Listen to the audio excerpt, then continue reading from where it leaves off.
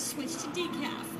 Make the toy walk, talk, help with homework, like the barbecue, play soccer, do GPS navigation, recognize faces,